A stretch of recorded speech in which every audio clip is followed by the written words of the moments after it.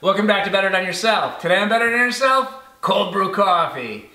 I've been trying for weeks to try to figure out how to make cold brew. You know, there's a bunch of videos on here and everyone says, oh, just, you know, mix together four parts to one part of uh, water to coffee, stick it in the fridge, and, you know, 24 hours later you can pour it off, filter it, and you'll have some delicious cold brew. And I'm just having the worst time with it. Everything I do doesn't work. I tried filtering it through a paper towel, and I tried filtering it through a coffee filter into a little funnel back into my jar, and it just seems like the, the cold brew just really gets into this brown, muddy clump, and I can't, it takes like, you know, 45 days to, to filter out my cold brew.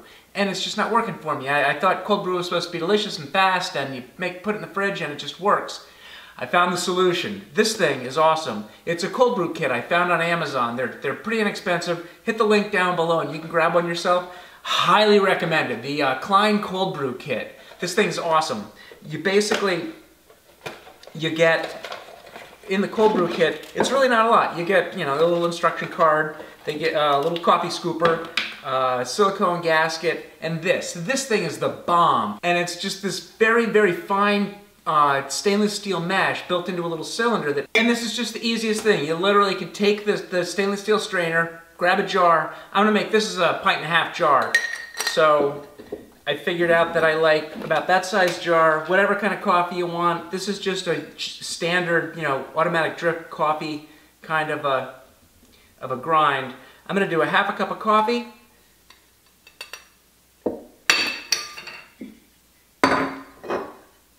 Fill up my jar with water.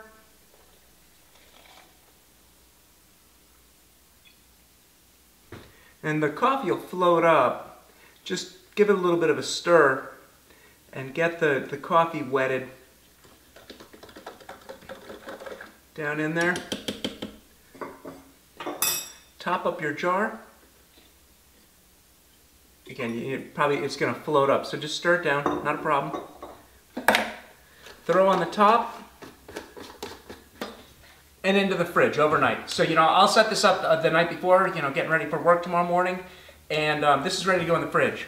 And then the next morning, just grab your, your cold brew out of the fridge, grab another jar, pop the top off, and look how simple this is. You can literally just pull the, the, the Klein filter right out of your cold brew here, let it drain it in another jar, and you've got a, a you know a half pint of, of, delicious cold brew. You can go ahead and heat this up in the microwave, or just drink it cold. Here, uh, uh, for a super simple iced coffee, grab your favorite uh, tumbler, halfway up with ice, grab your cold brew, and look at that. There's like zero sediment in the bottom there and you're ready. This delicious cold brew, you can add some milk to this. You know I don't drink milk, I take everything black. But um, maybe a little bit of sugar, you don't really need it. A little bit of milk, you don't really need it. I like it like this. You can make it like you like it. Cheers. This is awesome.